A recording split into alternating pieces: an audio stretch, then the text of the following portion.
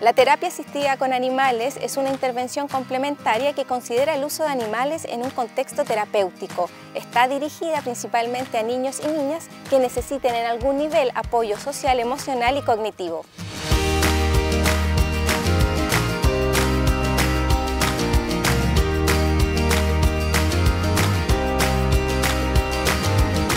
Disciplina es un campo en expansión que cuenta con una vasta trayectoria en algunos países como Estados Unidos y que en Chile está ampliándose cada día más.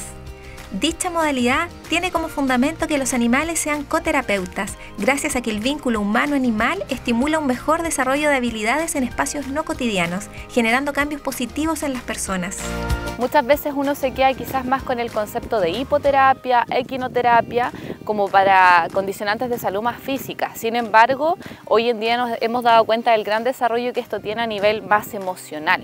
No solamente es llegar y que venga un niño a una terapia, sino que también tenemos una familia que complementa, hay una conexión con la naturaleza, cómo ese trabajo con un animal directamente te puede generar beneficios emocionales, te puede generar eh, una rutina, un hábito que tú puedes incorporar a lo largo de tu vida.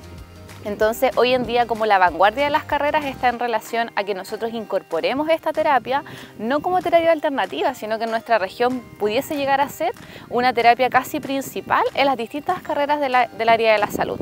Los profesionales que se desempeñan en las intervenciones asistidas con animales son de distinta índole, ya que las mejoras en el área física, psicológica y social hacen necesarias diversas líneas de trabajo. Dentro del Departamento de Procesos Terapéuticos de la Facultad de Ciencias de la Salud está terapia ocupacional, psicología, fonoaudiología, kinesiología.